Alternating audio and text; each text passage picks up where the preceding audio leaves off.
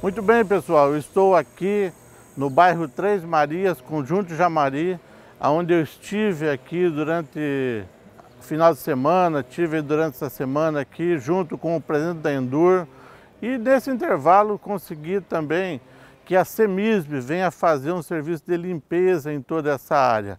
Um serviço importante para a comunidade, um serviço que a gente vai trabalhar para que toda essa área seja limpa. Hoje, na parte da manhã, já começou o trabalho aqui nessa localidade. Na próxima sexta-feira, volta aqui a outra equipe da Endur para fazer a troca de lâmpadas, reparo de toda a rede elétrica e também colocar refletores nessa localidade. Para quê?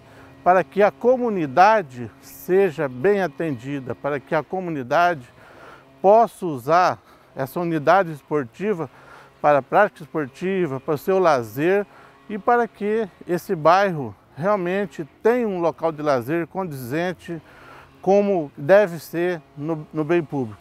Estou à disposição na Câmara Municipal de Porto Velho para atender a comunidade. Se você tem um local desse aqui no seu bairro, está precisando de reparo, acione o gabinete do vereador Fogaça através do telefone 99231 9050.